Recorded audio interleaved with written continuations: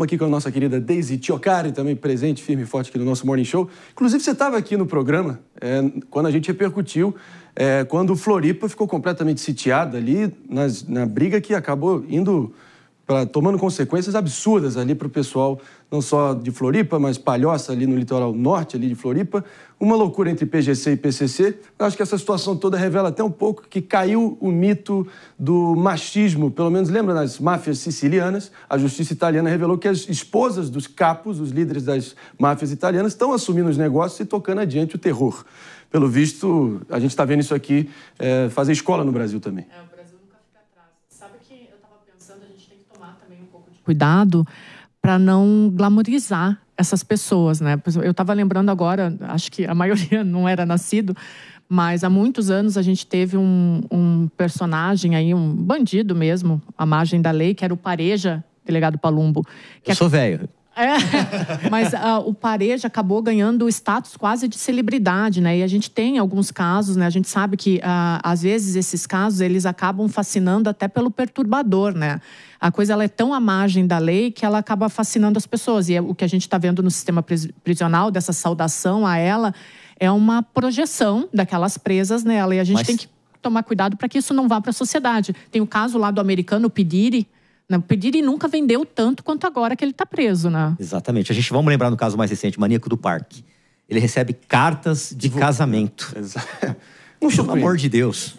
Recebe cartas para casar. As, pessoas, as mulheres querem casar com ele. Eu acho que elas querem ser mortas, não é possível. Pepezinho, meu querido, olha só. É, um estudo recente do DEPEN dá conta de que as estruturas de comando, hoje em dia, das facções criminosas, as principais, aqui no Sul e Sudeste, 60% da cadeia de comando é totalmente operacionalizada de dentro dos presídios.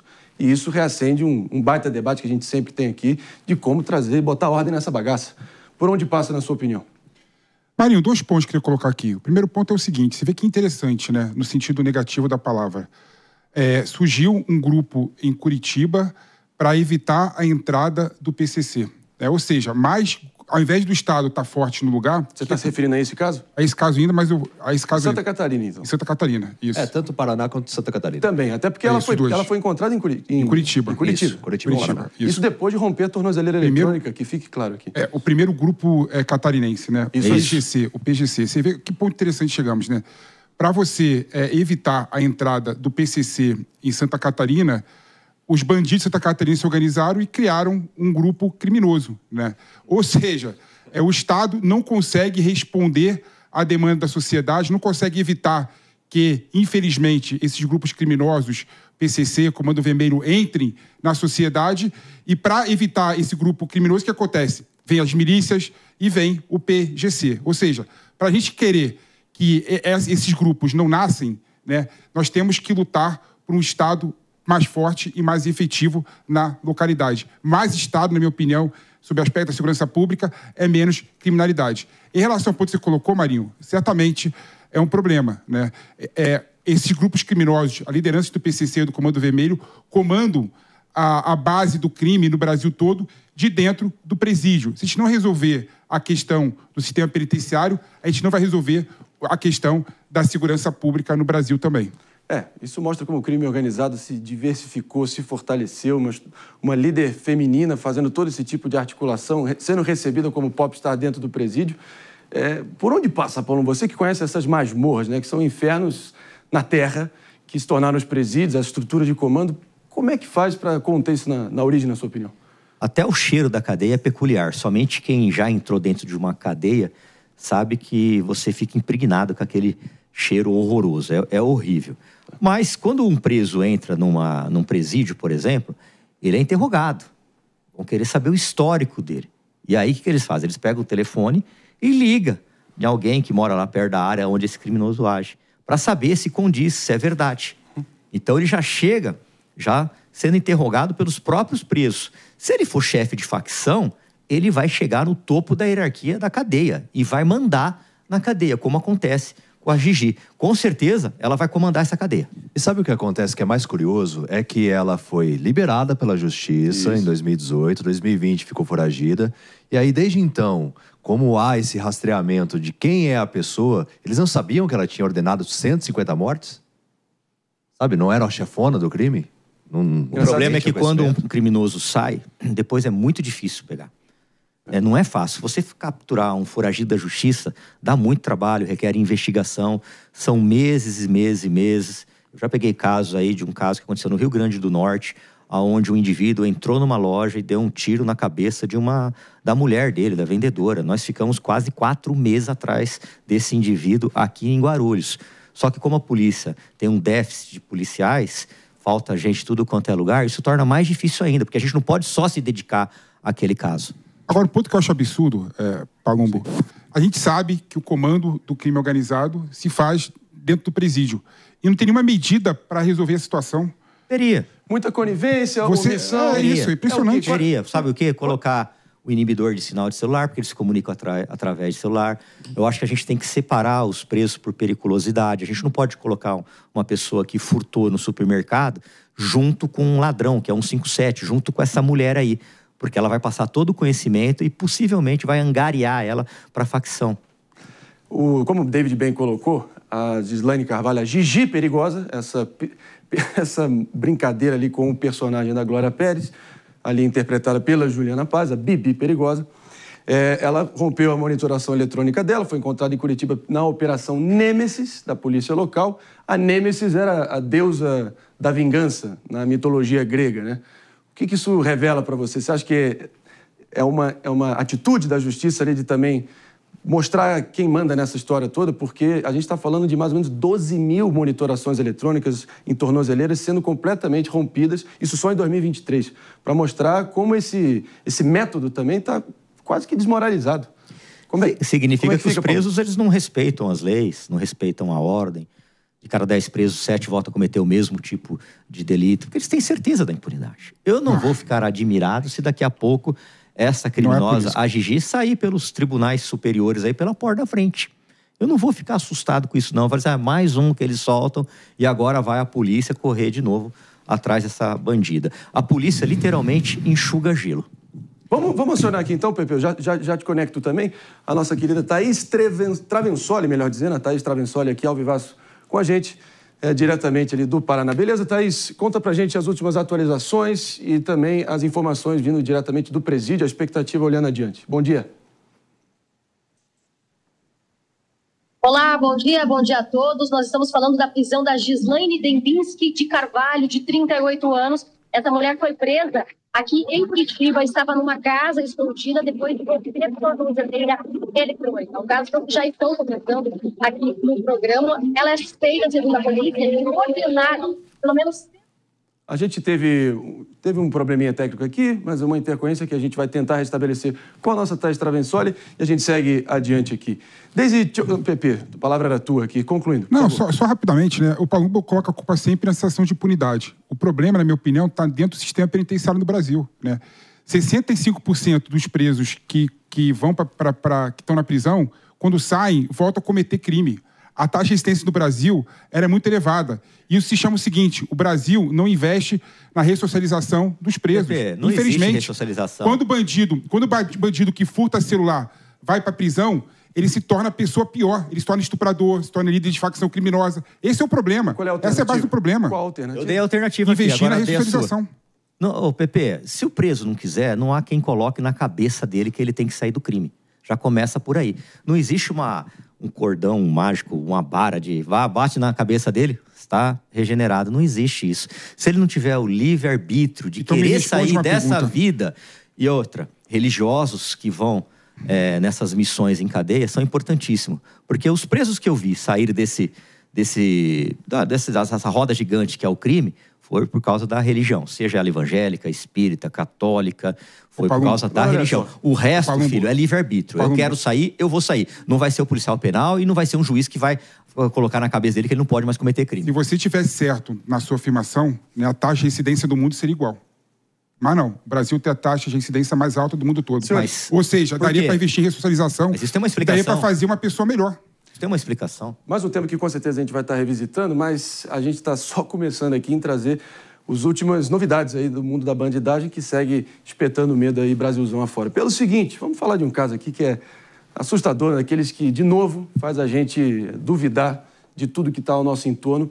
vendo a fraqueza do sistema que deveria estar nos protegendo. Isso pelo seguinte: o Tribunal do Estado soltou o suspeito de tentar enganar, meu caro David Tarso, a justiça e inserir uma decisão falsa no sistema da justiça de São Paulo para conceder um habeas corpus para o Fuminho, o famoso Fuminho, que é sócio de ninguém mais, ninguém menos que Marcola, um dos líderes mais temidos e nefastos aí do PCC.